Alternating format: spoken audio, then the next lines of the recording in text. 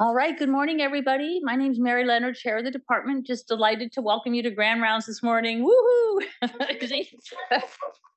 See what you miss if you're not here in person? You're not here in person? Okay, so welcome everybody. As always, especially now that we're here in person, we start with our land acknowledgement slide shown here and then a few other housekeeping matters. They're doing the wave. Okay, um, so there is the code here to get for CME credit and MOC make sure you take advantage of that. Okay, and then this is, of course, the last round uh, rounds of the year, but a nice opportunity to look, think about what we have to look forward to. It will indeed be a very happy new year. Um, really want to make sure everyone's aware that Daphne's going to be speaking to us. She's just, I think, the world's thought leader and a brand new member of the faculty in our department. We're so delighted on the intersection between racism and genetics research and how can you resist social responsibility and the weaponization of genetics research. So please join us um, right after the new year. Um, and then it's also the time of year where we're thinking about the mentors for our PIPS program. This is the pediatric internship program where we bring in URM first generation low income high school students from out the Bay Area for a really intensive uh, summer experience. I think that their graduation this last year was just nothing short of joyous. And really, it's the incredible people who serve as their mentors that make the program such a success. So be sure to sign up for that. Think about that. We have mentors that are medical students, uh, some graduate, some of the postdocs have served as mentors. It's just a wonderful community and a great way to bring the whole department together. Um, and then also want to make sure you're aware of the upcoming MCHRI educational sessions um, on January 10th. We're going to hear from the at the UDN Undiagnosed Disease Network and Gregor site um, from our geneticists, and then uh, two of our superstars in stem cell transplantation, Natalia and Pasqualina are going to talk about engineering the hematopoietic system to treat non-hematologic disease. For instance, Natalia studies lysosomal storage diseases, so that'll be very exciting. And it's already time to be thinking about the annual pediatrics research retreat in April. We did come together in person last year, which was wonderful, and look forward to doing that again this year. And with that, I am going to pass uh, the uh, baton or the microphone to Jim Fair, our chief of our division of pediatric anesthesiologists. So delighted to have you and your division with us today. Welcome. Thank you, Mary. Uh, good morning, everybody. A fine, cold day. Um, I'm delighted this morning to introduce Dr. Danton Char, one of our exceptional pediatric cardiac anesthesiologists. He's a member of the Pediatric Cardiac Anesthesia Division, an NIH-funded bioethics researcher, and a good friend. After finishing uh, his clinical training, Dr. Char got a master's in epidemiology, where he attended to do uh, translational research. However, he became more progressively interested in studying ethical issues surrounding the care of complex children uh, and got an NIH award examining ethical issues implementing genomic testing in the care of children with cardiac disease. This work led him to begin to ask questions about the use of machine learning tools to aid healthcare, and he authored the first and one of the most frequently cited articles on ethical concerns with AI for healthcare, published in, in the New England Journal. Into his, uh, in addition to his NIH-funded work on genomics and AI, he is the inaugural data ethicist reporting to the chief data scientist at Stanford Healthcare. He's also examined ethical challenges with healthcare labor, drug shortages, and the care of critically ill children. And with the support of MCHRI, he has also begun examining ethical considerations around VAD deactivation and the end of life care in children with cardiac disease. Uh, please join me in welcoming Dr. Char to speak. Come on, give it up for a two. Uh, thank you very much. This is um, it's great to have an opportunity to share with you the research we're doing and the and the problems that we're facing. So let me bring up my slide deck. Um, we're in something of a sea change in medical ethics right now. When I was in training, and probably when you were too, all of the ethical relationships were defined in terms of a dyadic relationship the clinician to the patient, the um, researcher to the patient. But that's not really the world we work in now. Increasingly, um, patients are relating to larger complex systems that are interrelated social networks and that's how we're providing care. And that's changing the way we provide ethics or at least the way we think about ethical problems. So we've known this to be an issue for some time. This is Mark Siegler's paper from 40 years ago talking about the changes in confidential providing confidentiality in, in medicine as with the rise of, of hmos and healthcare healthcare third party payers. Um, this is uh, Chiara Lepora's work Chiara Lepora is, um, or was until, is at WHO in Jerusalem right now, but was with Doctors Without Borders. And she talked about the problems that Doctors Without Borders was facing when they deploy to militarized areas, that when they go out to militarized areas, often their medical supplies are taken by the junta, and the junta that's there says, okay, you can treat this village, but you can't treat this village. Or you can treat these soldiers, but you can't treat these soldiers. And the question she began to ask was, well, at what point does compromising how we provide care become complicity in supporting the junta? And if it's complicit, do we not deploy Doctors Without Borders at all? And it's not an easy or straightforward question to answer. It has, has valence in other problems that we faced more recently. This is Doug White and Bernie Lo's paper about how a bedside clinician would consider rationing ventilators in the face of COVID. Um, that's the tip of the spear. I think increasingly we recognize that yes, it's important to have guidance for the bedside clinician to make those tough decisions, but also the, reason the bedside clinician is in that situation is because of a series of interrelated social and economic decisions that have been made that have shortened the amount of ventilators available. When I was in training in anesthesia, we had an almost warehouse-sized space in the basement. Now, this was at a small medical school just up the road called UCSF, but there was a big, big warehouse-sized space where we had all these old ventilators that were still in working condition. And in fact, several times throughout my training, I had to bring out and even do like a what's called a copper kettle anesthetic, where you had to try and figure out how to titrate in just the amount of of anesthetic to vaporize it in the copper kettle. But the point being that they still worked. But the economics of that is no longer the case. Right? Nobody keeps warehouses like that. And the just-in-time supply chain has shortened the ventilators that are available.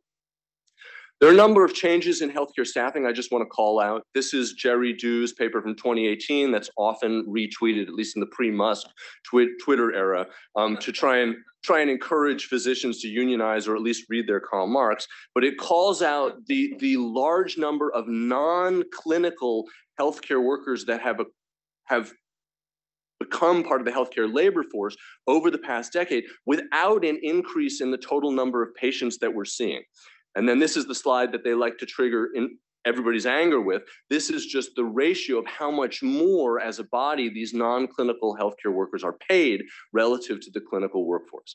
And the point being that healthcare has always existed in a tension between making profit and providing health. They're not perpendicular, but they're also not always in parallel. And that's obviously a source of great friction.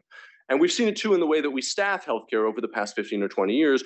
This is um, Desai's paper in the New England Journal talking about all the many benefits of the eight-hour work week among our trainees, about overall, um, you know, well-being and psychological well-being and improvement in life quality and attracting more labor. There are many, many wonderful things about the change in labor, but we have changed labor to 80-hour work weeks.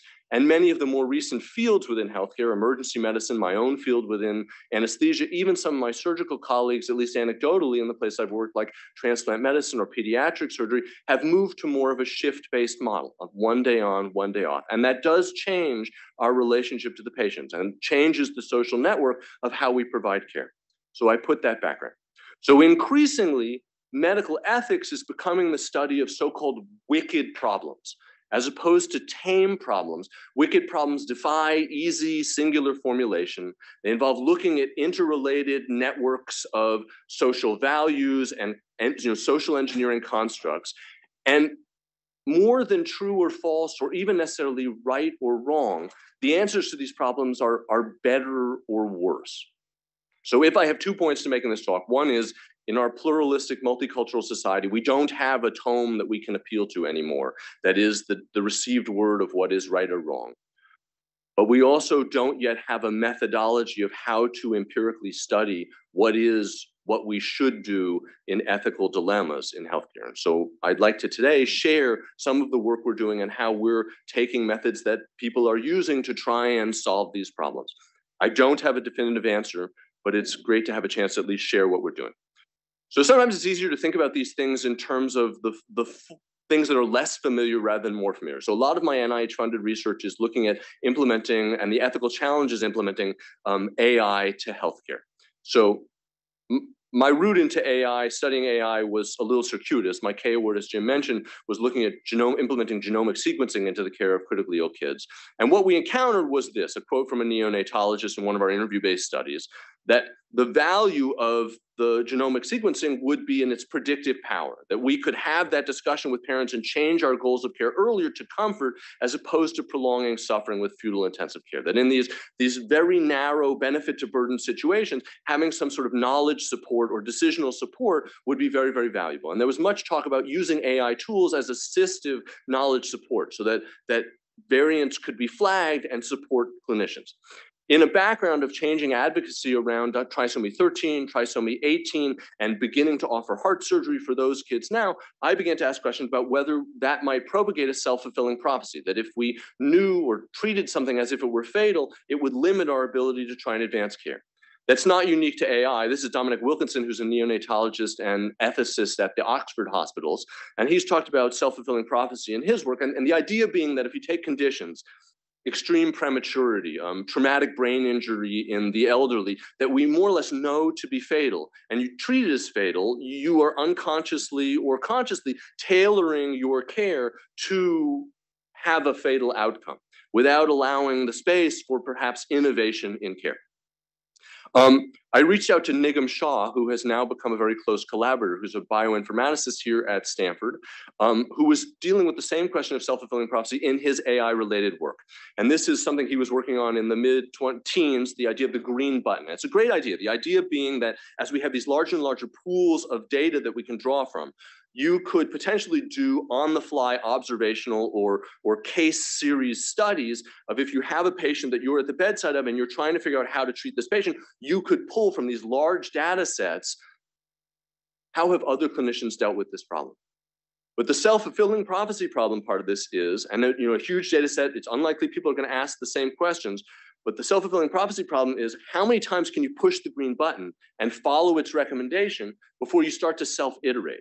Which is to say you're no longer seeing what other clinicians are doing. You're seeing what the recommendation was that you should do and you followed, and then the recommendation of what you should do and you followed. And the, it's not a straightforward problem. When we asked around and we reached out to the ethics community, they were largely dismissive. Maybe it'll be a problem, maybe it won't be a problem. And what we lacked to convince people was some sort of method to say, well, this is why, this is in an empirical way why we think this is likely to be problematic.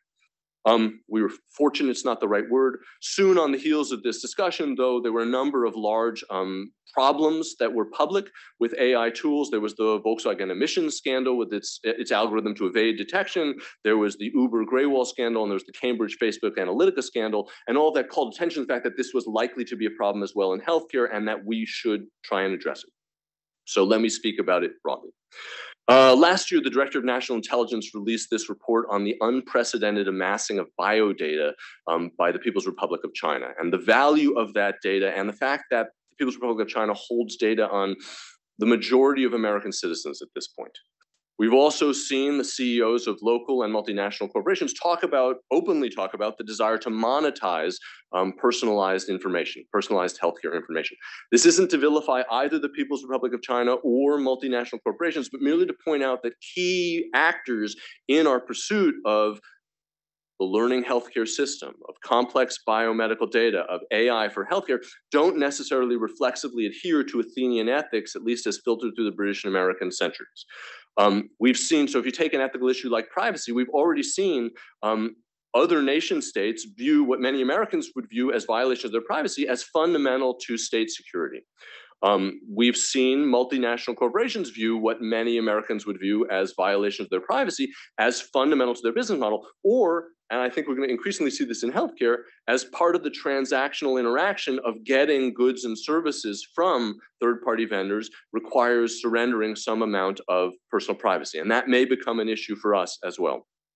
Um, so if you take something like bias, an algorithm that's being designed on a training set of exclusively Han Chinese ancestry for deployment in exclusively Han Chinese population is going to have very different concerns around what bias is latent in that data than say AI tools that are being deployed in sub-Saharan Africa, where European and American scholarship on bias, on discrimination may be valuable, but the legacies of colonialism are going to have issues of bias unique entirely to that context. And how to study that is challenging. So uncomfortable as it is to admit, in many ways, many ethical considerations are regional and political. And so this is a slide from the EPA talking about how fossil fuel emitting vehicles had to be you know, tailored to different markets.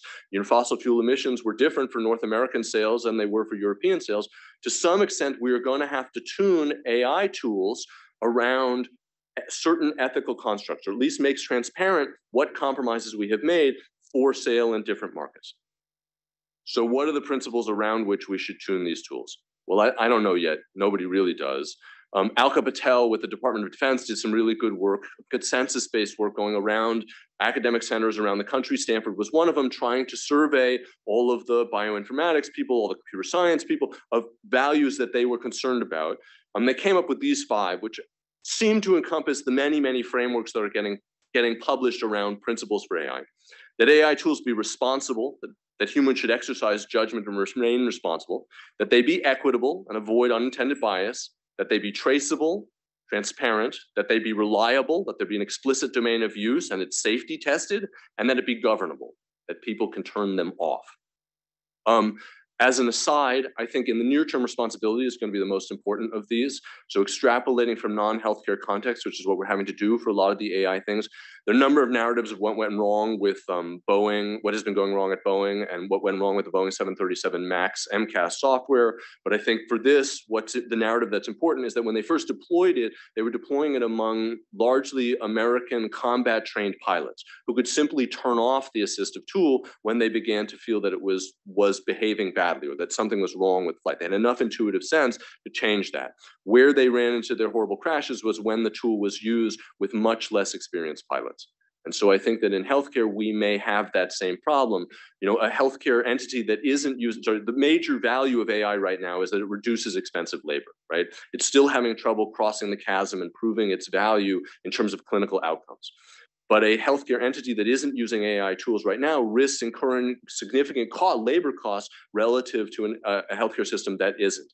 But the danger is obviously that we will have gotten rid of a skilled labor pool that would be available to correct a missteering or misguided tool before we have demonstrated that the AI tool is in fact better or even equivalent than the clinicians or labor, or labor pool fundamental to allocation of material supplies within healthcare that, that it replaces. Okay. Um, Michael Abramoff at University of Iowa is the first person to get FDA approval for an AI tool. This is that AI tool, IDX. It's an uh, autonomous screening tool for diabetic retinopathy.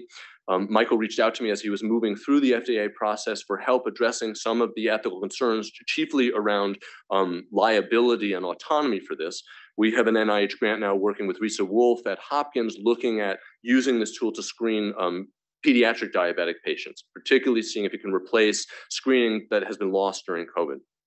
Um, we went through the process and came up with a few additional principles that we think are of value to guide AI tools, that the AI be you know, non-maleficent, that it doesn't do any harm, that there be patient benefit, that it be autonomous, that the patient still be in control of its healthcare, and that liability for the AI system is directly related to the degree of autonomy that it proposes, and similarly, that it be equitable. Um, like I said, I don't know what principles we're going to hinge on, but it looked like with the National Defense Authorization Act that came out last year, and now with last or September, um, the AI guidance from the White House these seem to be the principles from FDA and from Department of Defense that they're going to hinge AI tools around and are going to use to guide them. Um, a couple other threads that don't fit neatly into these principles, but I think are worth just mentioning um, that are probably going to wind up having to get regulated. Um, but bias, we've talked about. This is the off-cited ProPublica article from 2016 that talked about the COMPAS recidivism protection software that made bias into a, a larger discussion nationally. Um, uh, it was to help judges in predicting who was likely to be a recidivist offender, and it was very racially biased. Um, and this this article called that out. This is Ginsburg's Ginsburg's work with the Framingham study, just showing how the Framingham risk predictors don't really work for other populations than the Caucasian population, underestimate or overestimate risk. We've known this to be the case in healthcare just as a sampling error in terms of who we've had represented in the data that we study. It has implications for AI tools. This is an interview-based study we were doing with oncologists looking at um, implementing novel chemotherapeutic tools. Um, we have a health, wealth, race gradient dilemma, how to protect against the bias of mortality prediction. It reinforces existing inequalities. You get comfort care and instead of advanced therapeutics. What's the solution? Does it help if the AI, AI is more fair? If you're going to die soon, even if it's from health inequities, aggressive high dose chemotherapy isn't good, which is to say that the AI itself can't inherently fix the social um, race based problems that are baked into healthcare. And how to address those are not clear. Privacy of personal data is problematic to address. We've seen that with Royal Free Hospital and Google. We saw it with Ascension Health and, and Google Hospital. It's not so straightforward. Um, this is criticism of the neonatal blood spot programs that many states have had. There have been criticisms levied that, in fact, the access to those neonatal blood spots were too restrictive. So people donated their their baby's blood spots, but none of the research that was intended to be done could be done, or, or, limitations on the research that could be done were present. This is something that, like all of us, is struggling with, with now. How do you get that sweet spot between getting adequate data to actually learn appropriately, but protect the privacy of, of participants? Um, ownership of data is going to be a problem as well. We saw that with the Memorial Sloan Kettering Paige AI deal. Again, this isn't to call out Paige AI. It was an AI tool designed to interpret pathologic slides and accelerate interpretation of that you know, to, to improve throughput. Um, many of the faculty at Memorial Sloan Kettering complained that the intellectual property that the, the tool had used was theirs, that they had designed, you know, that it was their years of training and years of labor that allowed this tool to understand what it did and that they had some ownership over the AI tool. Whether this will have any traction, I asked my colleague at the law school, Michelle Mello. She felt, frankly, we had all pretty much surrendered any kind of right to our intellectual property by being employees of academic centers. But I think it's something that will will bear out. It's come up in our research as well as Kaiser has tried to implement its suicide risk prediction for adolescents. Many of the psychiatrists and psychologists similarly feel that they have spent years laboring away trying to identify who will be high risk patients and that they have some ownership and potentially some responsibility to their patients as to how this tool is deployed. Um, accountability for failings is not straightforward. That has played out more publicly. This is the New York Times article around the Starbucks clopenings problem. A large part of the Starbucks workforce is temporary people trying to put themselves through school, single parents. They built an AI tool to try and identify how to optimize shifts. You know, like it would make sense, right? If you're running a lemonade stand and you know one day is going to have an ultimate frisbee tournament, it's going to be really hot. Having your lemonade stand heavy staff that day, as opposed to the day it's raining, is probably a good idea. Um, so this found a number of things, one of which was that it was far more efficient to have the same person who closed the store at 11 p.m. or midnight reopen it again at 4 a.m. the next morning, and, and also to allow flexible staffing models. And so the people who were working there found themselves having their entire lives upended on being able being unable to get childcare because of the AI tool that had been deployed. They tried to fix it, but obviously damage had been done to the labor workforce, and who was responsible was not totally clear.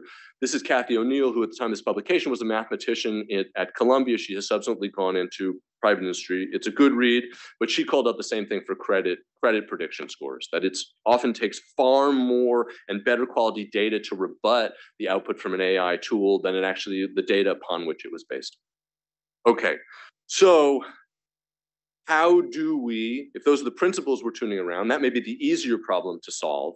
How do we actually identify ethical problems and challenges with tools before they become consequential? Well, the current model for um, ethical evaluation um, ha has some limitations, right? It's intended to be beneficial, but but from simply staffing of the number of ethicists available, it doesn't scale to the throughput of new technologies that are that are coming into healthcare.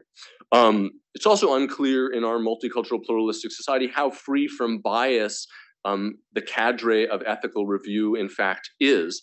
That's problematic because doubt in ethical review encourages circumvention, which is in fact much easier to do nowadays as the lines between what is research, what is QI, what is healthcare infrastructure continue to blur. We've seen this play out somewhat publicly. During the last presidential administration, there was the NIH appointed the Fetal Tissue Research Ethics Advisory Board, um, which was intended to consult and make recommendations for research that was deemed fundable by NIH. It didn't play out great, they basically rejected all fetal stem cell research because of the particular views of the participants of the panel. Um, because of the problems with ethics review, many bioinformaticists have begun to turn to the idea of fairness in AI tools. So this idea that you could specify a priori groups that you then identify whether it's deploying fairly across these populations. This may be what we use. It is what we're starting to use here at Stanford of identifying protected classes. It's not so easy to tease them out of data, but to try and see at whether the model, in fact, whether the training data is representative and whether the model, in fact, is balanced in output. There are obvious limitations. The model output isn't really what we're most concerned about. We're concerned about the clinical outcomes based on the downstream actions from a model that you undertake. It's also challenging for populations that aren't American populations that we know well to identify who are the groups we should be worried about. We have this from labor law of protected classes, but in a novel population, what scholarship or methodology is even needed to identify what should constitute a protected class or who are vulnerable subpopulations is not straightforward, and that methodology doesn't fully exist yet. Um, so how to identify ethical problems before they come consequential? This is a methodology I put forward. Um, you could see on the left, it's in line with the FDA's software as a medical device. So on the left is just the conceptual pipeline of how medical technology gets innovated, right? There's the idea, there's development of the idea, there's calibration, there's the initial implementation of it, and then the recurrent use of it. Inherent to the design process are a series of questions that get asked that don't necessarily have ethical are not overtly ethical, but have values laden in them. That, that, and you can see in the far right, that can call out certain ethical considerations that can come to bear. So things that you wouldn't even necessarily think about, like where you set the sensitivity or where you set the specificity, have implications for who is included and who is excluded from a particular tool. It hinges on a couple of premise, premises that I believe, but I submit to you, um, this draws on work on values in design from people like Shilton, Braze, Manders-Huits, there are multiple stakeholders impacted by any, this is AI, but honestly, it's any healthcare technology. And the stakeholders can be identified by examining the design and deployment context. Stakeholder groups themselves have different values and explicit or implicit goals for a tool that can and should be ascertained. The process of design and development involves making a series of decisions. How stakeholders make these decisions or would want these decisions made reflects their values. And this is the important one where stakeholder groups disagree or their values are at odds about these decisions, where their values collide, that's where we think it's most likely that ethical problems and social problems are going to emerge in future. Right? I can't predict the future, but this at least gives us some guidance of where these labor frictions occur are likely to be the problems or the cascading problems that we've seen before. Some of these may be completely novel as we implement novel tools. Many, most will probably be likely resolvable by referring to casuistry, by referring to prior examples that we've encountered. So an example from the non-healthcare context would be the first self-driving car fatality. Uber engineers were having trouble making it saleable, right? It was really juddery. It was, it was recognizing everything. They wanted to smooth the ride. And so in reducing the pretest probability and reducing its recognition of obstacles, they felt directly led to its failure to recognize a pedestrian walking a bicycle at night. And so you could see how a pedestrian would have been an important stakeholder to include in an AI tool being deployed on the roadway. And this pedestrian obviously would have wanted it, the, the sensitivity set differently than the engineers set for their values of trying to make it saleable and smooth. Obviously, safety would have been more important to the pedestrian. Okay, so how do we deploy this? This is our first case study of an AI tool. This is deployed over on the adult hospital, trying to predict mortality, near-term mortality for patients being admitted to the adult eh, adult medicine service with an eye to using that mortality to try and guide um, advanced care planning, which say that if someone has a high likelihood of mortality within the next calendar year, to flag them as being appropriate for consultation for advanced care planning.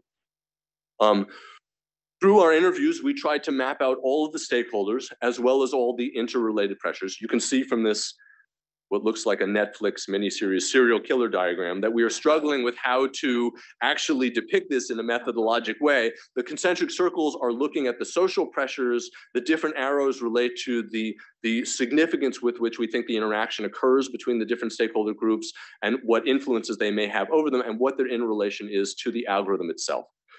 We identified a number of areas where we felt the, the the stakeholders were colliding. I want to call out a couple.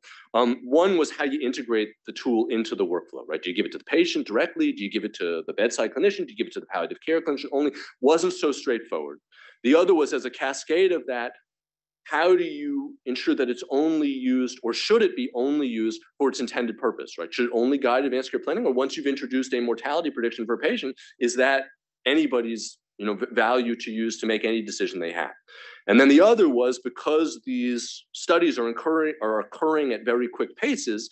Um, uh, how do you avoid scrutiny, right? There's a great, great pressure to say, hey, we're working on this really cool project. Let's post about it on Twitter. Let's put it, let's put it out on our blog. Um, does that afford actual protection to the study itself and the way that we shield other studies?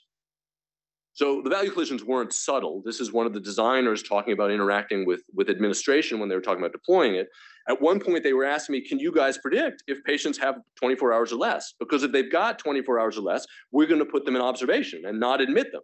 And observation means they're not officially admitted. And if they die in observation, they don't count as a death, right? It's not against our regulatory metrics. And I was like, I'm going to vomit in my mouth right now because you're telling me you want to know they're going to die in 24 hours because you wouldn't put them in a normal patient bed. You'd put them in observation. So we gave some recommendations to the deployment team. One was looking like to actually study the different workflow implementation strategies. One was explicitly clarifying to clinicians, administrators, patients that it was only evaluated to predict the need for advanced care planning, that it wasn't intended. In fact, to just relabel it as ACP needs probability rather than calling it a mortality prediction and putting it in EPIC in the patient's chart. And then to talk about shielding their research from social media scrutiny, that it probably needed the same kind of protections that we afford to other clinical trials when they're underway. That if you want to say that we're doing it, that's fine, but to release early results and stuff was probably going to endanger how you proceeded with your research. Okay, so how do we bring this into the clinical care of kids more?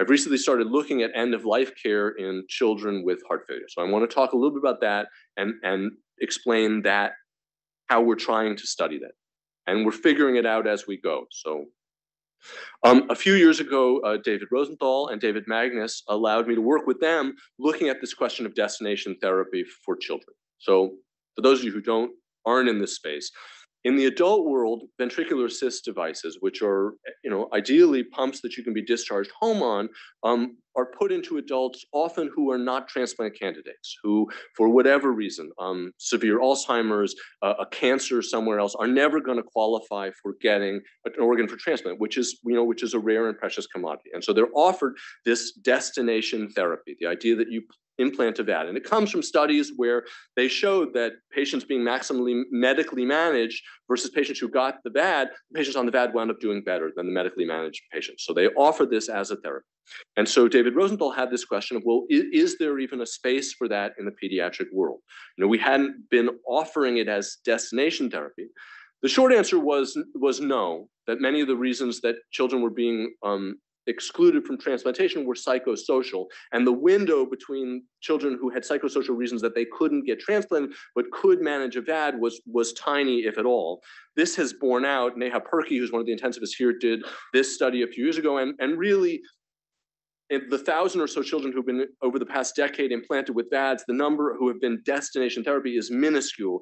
And, and I can be corrected by my heart failure colleagues, but to my knowledge, almost none of them have gone in as destination therapy. It has all been what has proven to be a very long bridge that ultimately wasn't to transplant either because of patient preference or because of you know concomitant problems, didn't wound up being destination therapy, but wasn't implanted as such. Um, but what did come out of our research was a challenge clinicians were facing with bedside care of these children. When the VAD began to lead to morbidities, he was still awake and cognizant and could talk. And we were at the point where continuing with VAD therapy might continue his life for some period of time, but he was suffering. He was really suffering, and there was not going to be any obvious benefit to him by continuing the VAD therapy. Deactivation is something different in adults where I think people, although it's a difficult concept in adults, they're a little more comfortable with this idea of end of life care.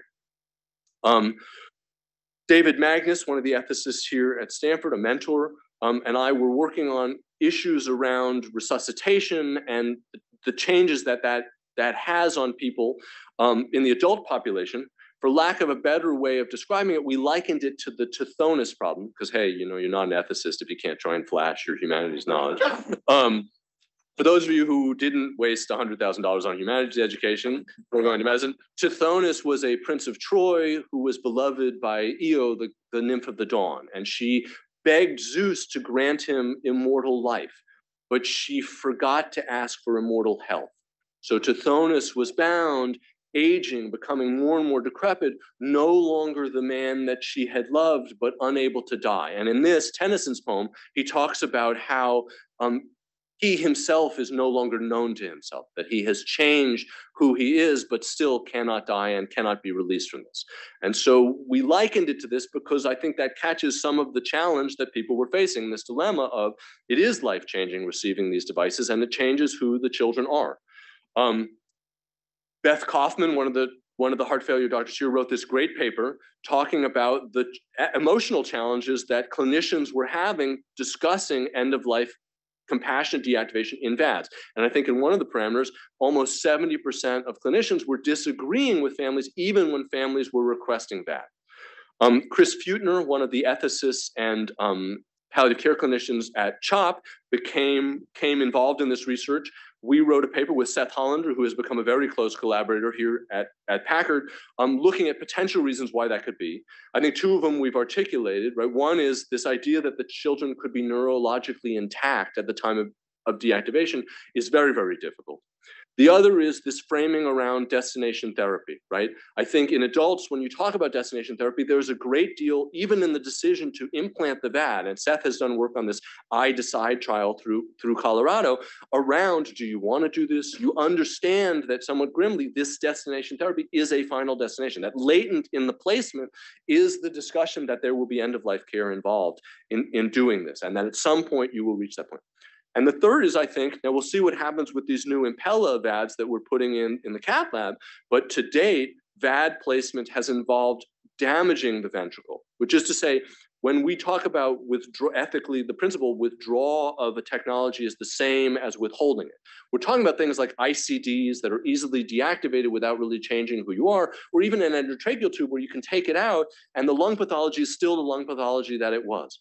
But a VAD involves actually coring out part of the ventricle and damaging it such that deactivating the VAD, I think Seth quoted me, 95% of the children are dead within 10 minutes after deactivation and all within an hour. Um, it, cha it changes the nature of the end of life. And I think that all of that together is very challenging when you talk about the decision to compassionately deactivate. Um, Desiree Machado, along with Seth, tried to bring a checklist from the adult world of well, so just practically, pragmatically, how do we do this? Um, this is a very detailed slide that has a number of sort of what you know what you should deactivate, what should you be thinking about. You could imagine, just like we have done with the AI tools, along the, this very practical series of checklists give rise to a number of decisions that have latent in them values questions that have to be answered. So even if you just look at this also busy slide, the bottom questions about removal of other life-sustaining therapies when you're doing compassionate deactivation. Should you remove other life-sustaining therapies? What's the comfort level with decisions around this removal? How do you resent, how do you address team dissent? Because obviously, as Beth showed, it can be emotionally fraught, this decision. What do you do in terms of sedating a neurologically intact child? Can we do terminal sedation? Is that, is that allowable? What do you do for cognitively intact child or a conscious child? Who else should be involved in these decisions? When should they be involved? All of these have latent values in them. I want to share some of our preliminary work that we're doing. We're doing an interview-based study looking at clinicians. We'll also be doing families as well. This is spectacular work being done by Kim Pyke-Grimm, who's part of our research group here. She's spearheading these interviews, and so I want to share some of them. I think what shines through, and I, I, have to put this out there, this is very, very difficult work. I have always respected my colleagues within the Heart Center.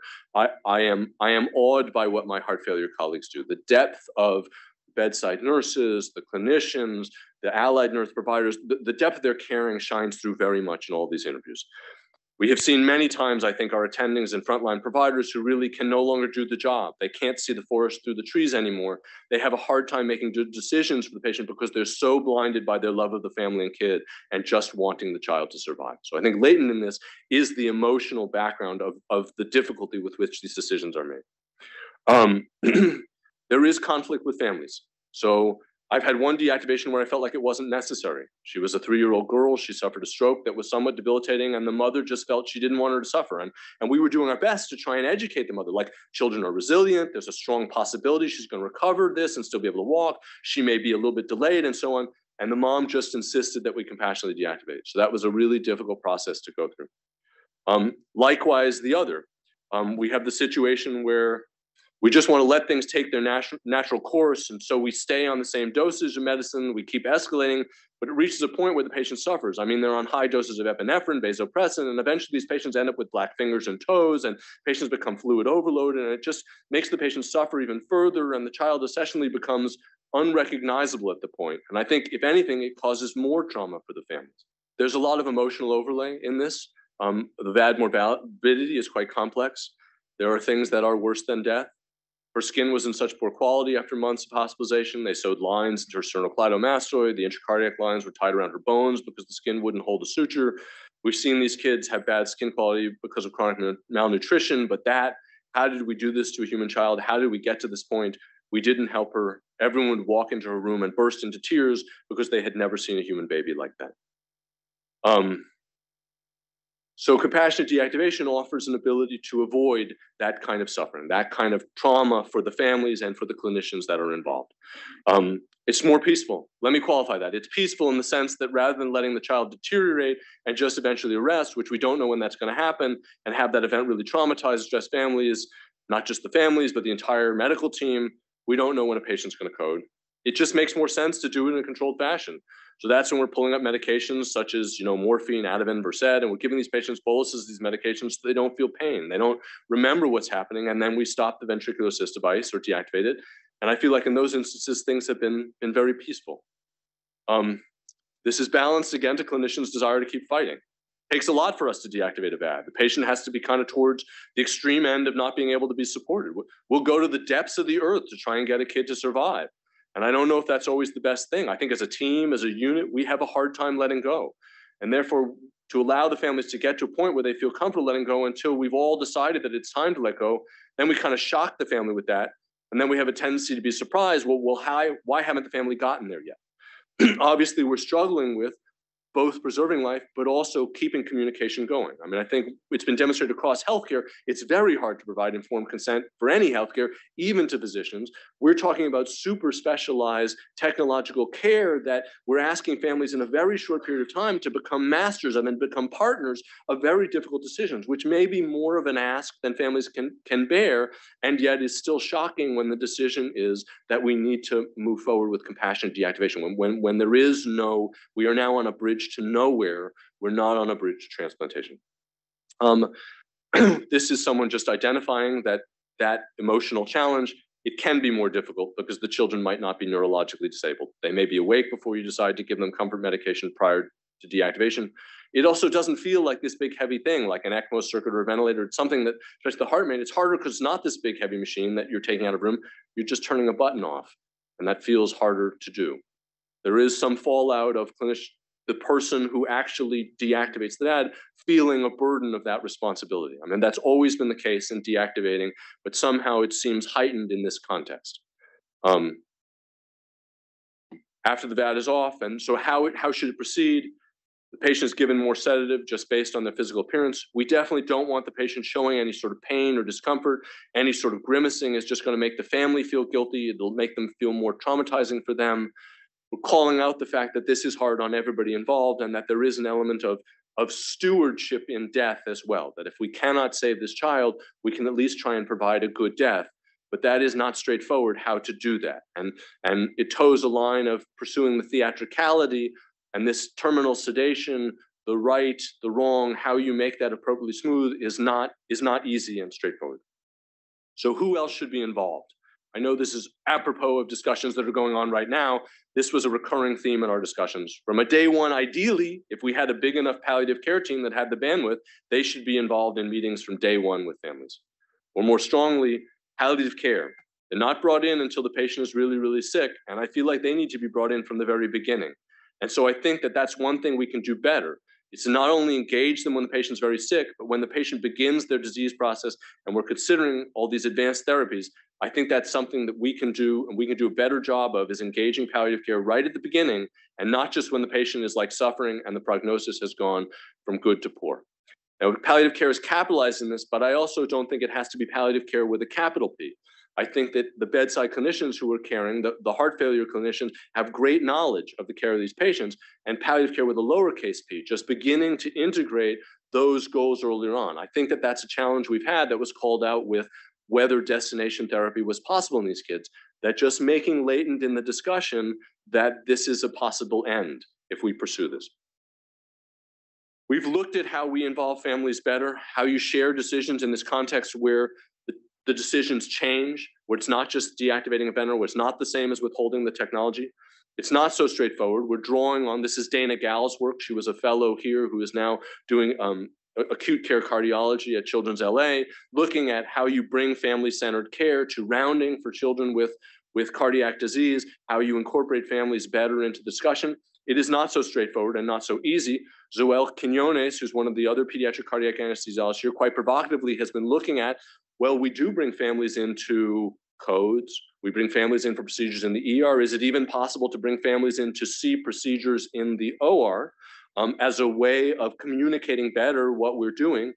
That's not easy and not straightforward. Certainly in literature review, while there may be benefits to that communication for the there's a, a trend towards it in interviews for the codes for um, pediatric anesthesia induction and for labor and delivery where they have partners present, it can be very difficult to ascertain before the event which partner or which parent is going to be helpful and calming in that situation or which is going to be emotionally overwhelmed in the situation and going to distract the care team from the care they're trying to provide.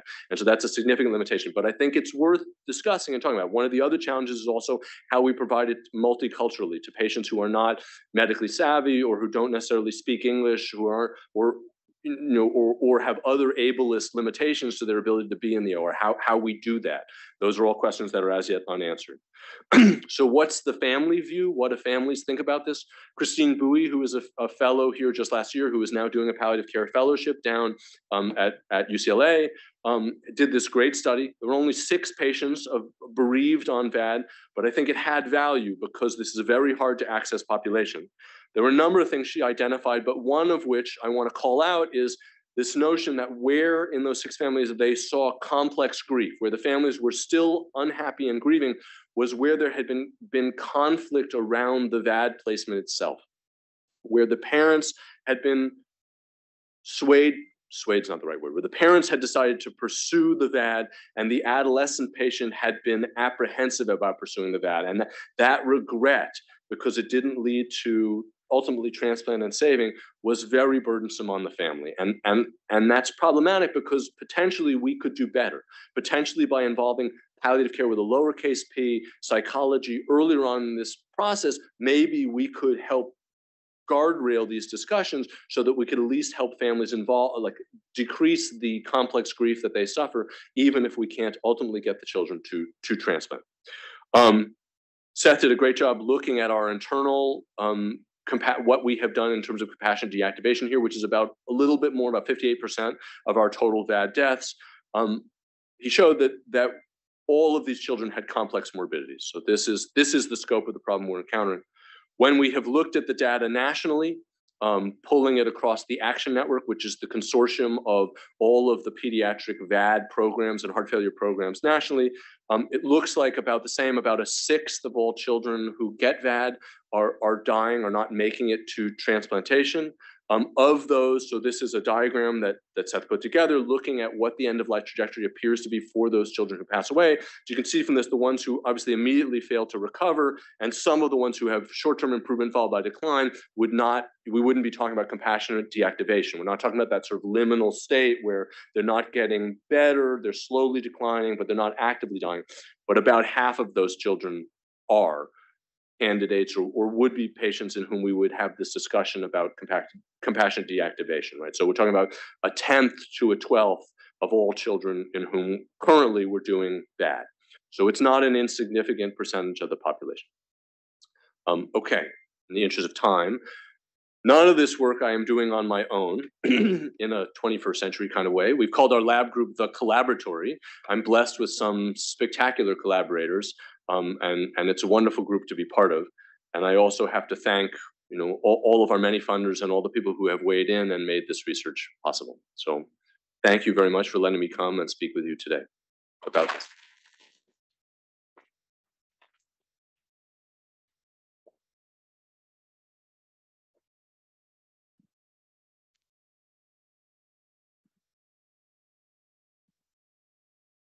Uh, thank you so much, Dr. Char. That was fantastic. Everybody agree? All you people Yeah, out in no, the thank you. land?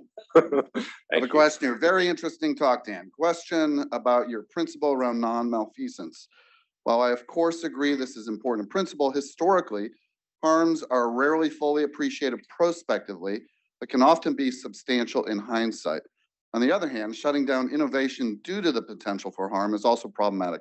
How do you suggest we think about striking this particular balance? Oh, that's a good, that's a great question. Great question. There's, there's, so in, in computer science, there's this talk about the Collingridge dilemma, right? Which is this idea that you can't study something until it's been deployed and activated and you see all the harms that happen. But that, at that point, it's too late to make structural, ethical, social changes, that you need to study it early in its deployment and its design. And find that sweet spot is very, very challenging. As I think I tried to call out from all of the non-healthcare um, references I was using, we really are having to extrapolate from prior disasters and and you're hitting it spot on that that is one of the goals of the research we're trying to do is this idea of anticipatory ethical and social research i can't predict the future none of us can but trying to find places where early on it suggests that there's likely to be frictions are probably places where there's likely to be cascades of harms we may also miss some so making sure we have close post hoc surveillance is going to be really important Well, thank Megan Holly for that question and Frederick Damanis. Thank you for the fantastic talk. From a liability perspective, do you believe AI-driven diagnostic tools need to be held to a higher standard than their human counterparts? In other words, will error rates need to be near zero, or can they just be objectively better than human outcomes for implementation? Oh, that's also a great question. Um, I mean, I think people in the AI community are really struggling with, so two answers to that question. One is I think a lot of stuff is unfortunately going to get litigated, and that's just how it's going to play out. I wish it wasn't the case. If we can get ahead of it, that would be better.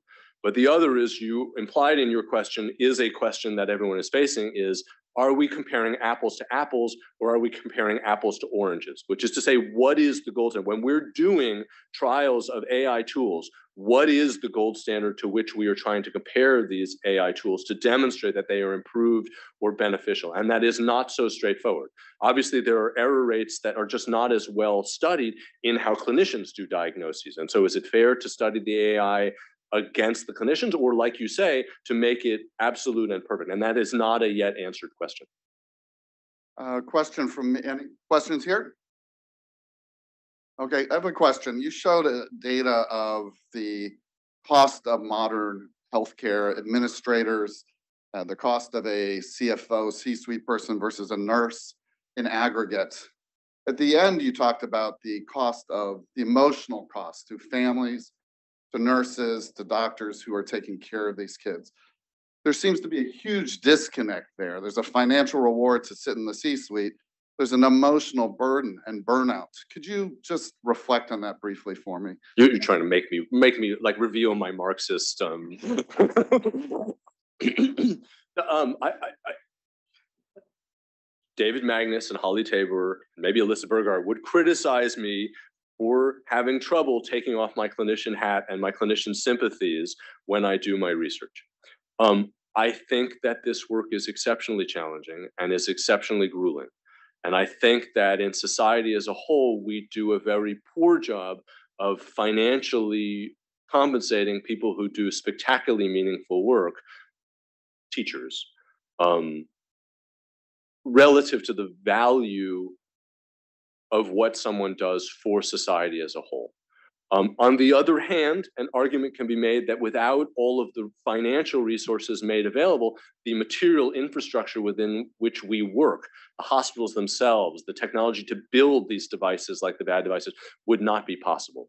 And that balance between the two is a wicked problem of how do you find a better or worse solution between appropriately supporting and supporting clinicians so that they are appropriately compensated, so that while they are up all night caring for these very, very sick children, they're not worrying about putting food on their tables against what a C recruitment for C-suite is requiring right now in the market. I have a note from Dr. Burgart here. I certainly do not criticize that. Great talk, Dr. Char, that was a fantastic talk. Thank you all for having me. The preceding program is copyrighted by the Board of Trustees of the Leland Stanford Junior University. Please visit us at med.stanford.edu.